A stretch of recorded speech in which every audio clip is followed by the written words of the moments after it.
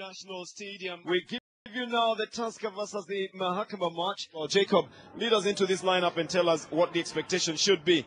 You've got uh, a good number of uh, seasoned players there. Jeffrey Oyando in the midfield. There's Joseph Waweru as well.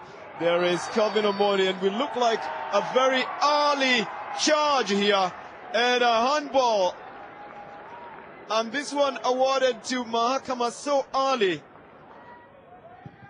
It's taken by Humphrey Mieno, and believe it or not, it's 1-0, and we can't even tell you in what minute of the game, because it's not even a minute before the restart. It's about 20 seconds of the game, and if there's a goal for the, if there's a trophy or a prize for the quickest goal in the Premier League, then this definitely will take it. Well, he's a good goal getter, and sometimes you don't need to score early in the game.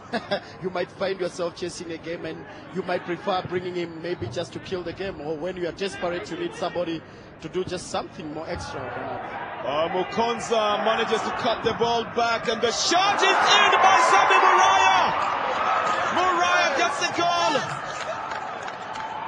That's the diminutive player. He makes it a very, very happy time for the coach Leonard Saleh. The goalkeeper is beaten, and Mahakama just don't take advantage of a chance like that. They never come any better. There is a throw-in. The goalkeeper is off his line. Two players. That includes Humphrey Mieno and Duncan Wanjohi. Just don't put a boot onto that ball. Long ball on the right. Finds uh, the correct passing there. Chichini brought down. And that will be another card here. And this one going to Humphrey Okoti. So Mahakama get a free kick. Yusuf Abubakar is part of uh, the crew to take it. Deflection and into the net. Amazing! What a shot! Coming in from Duncan Wanjohi. And and right into the net.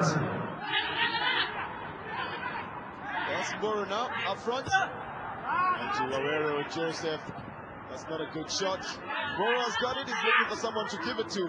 Tries to turn and a nice one on Tusker FC. Get the first goal as the flood stays down. It's Oscar Kadenge who makes it one for Tusker FC. Mahakama, they just got some chances early in this game. They made full use of their chances and they have the game